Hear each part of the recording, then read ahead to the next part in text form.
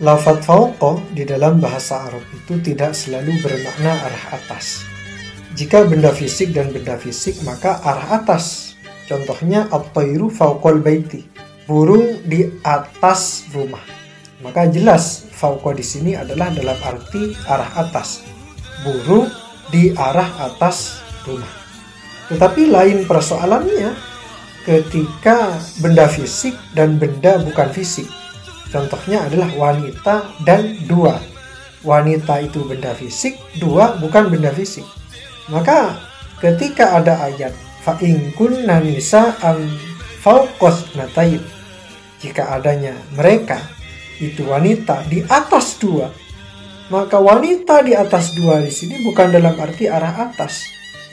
Bukan dalam arti wanita berada di arah atas angka dua, bukan karena wanita benda fisik sedangkan dua bukan benda fisik. Maka tidak berlaku makna arah atas.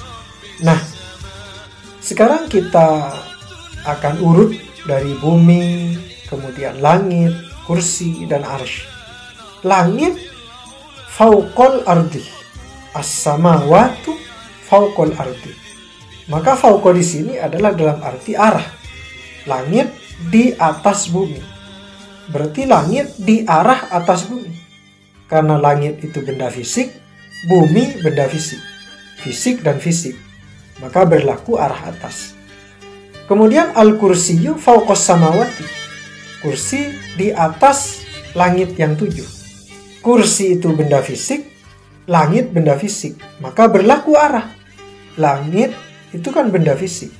Kursi benda fisik. Berarti kursi di atas langit, kursi di arah atas langit. Nah sekarang al-arsyu fauqon kursi. Arsh di atas kursi.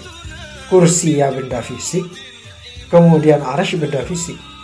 Maka istilah al-arsyu fauqon kursi. Arsh di atas kursi. Maka berlaku arah atas.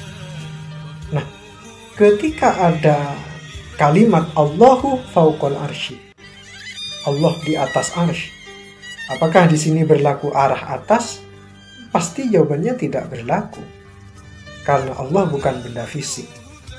Allah bukan benda fisik, arsh benda fisik. Maka Allah di atas arsh bukan dalam arti arah.